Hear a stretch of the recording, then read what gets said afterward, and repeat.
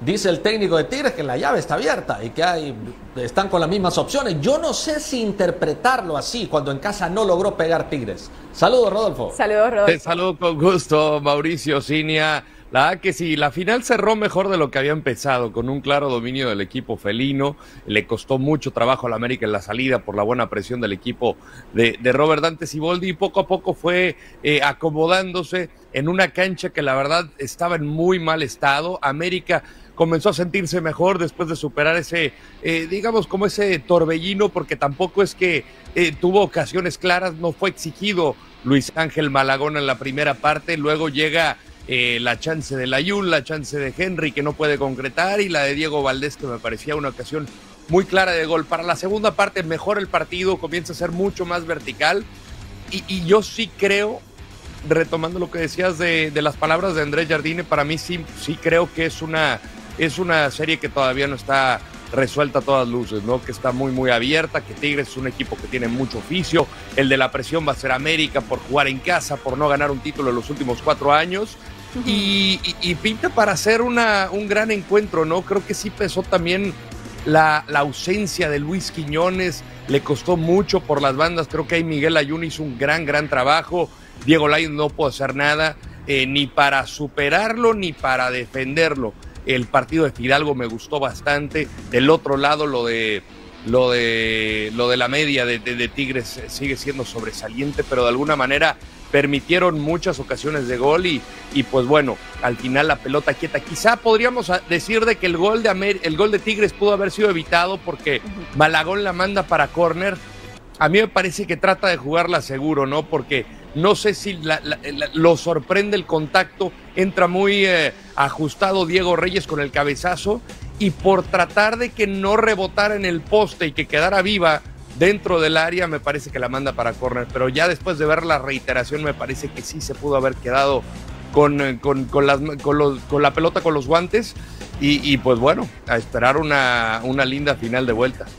A ver, Rodolfo, es cierto que América finaliza en casa y pues eso le da una gran ventaja al equipo. Sin embargo, desde mi percepción, al América le ha costado mucho tener que ganar en casa y a Tigres como que le sienta bastante bien andar por ahí de visitante. ¿O me equivoco? Sí, digo, y también la presión de la gente, lo vimos justamente Además, en el último partido en casa contra el Atlético de San Luis. A ver, la serie de semifinales ya estaba resuelta, habían ganado 5 por 0 en tierras potosinas y en la vuelta pierden 2 a 0, hace seis cambios Jardine para tratar de cuidar a algunos jugadores, y cuidar el riesgo de lesión, de expulsiones y pierden 2 a 0 la vuelta, 5-2 el eliminatorio y los termina abucheando la afición del América se da, se jactan de que son los más exigentes del mundo. Eh, yo no comparto esa idea, a mí me parece que al final el conseguir el pase a la final es algo que se le había negado, sí, es la exigencia para el América, la exigencia es el título, pero a mí me parece que eso todavía le agrega más presión a los jugadores de una forma tan innecesaria. Entonces vamos a ver cómo reacciona la gente. A mí me parece que va a haber un lleno, va a haber una excelente entrada entre dos de los mejores equipos. Eh, se le complica, hay veces que sí se le puede complicar en casa, pero yo creo que al final creo que América tiene los argumentos tanto en el once titular como en la banca, a diferencia de Tigres que de repente los jugadores que entraron, que es muy buena banca, creo que la de América es mejor y eso para este tipo de partidos le viene mejor. Y estoy de acuerdo, eh, y, siento que el América eh, ha dado un gran paso para mí con ese empate de visita y deberá trabajar más que en lo futbolístico, porque en lo futbolístico ya hemos visto lo que es capaz el América, es manejar la parte psicológica, que el partido no se lo vaya a comer en caso que no se va dando el gol, que la grada presione, que el equipo no salga del camino, porque el, el felino puede sentir ese aroma de temor y confusión y allí Ataque. puede estar la oportunidad de Tigres.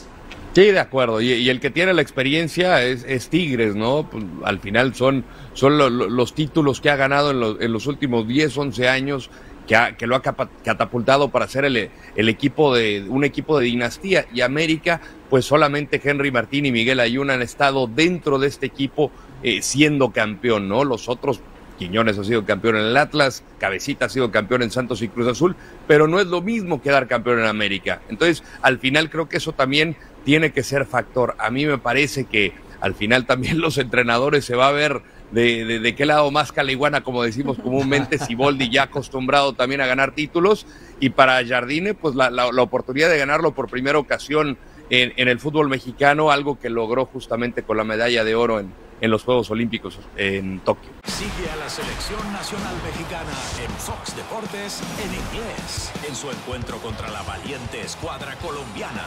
México-Colombia, esta noche en vivo y en inglés por Fox Deportes.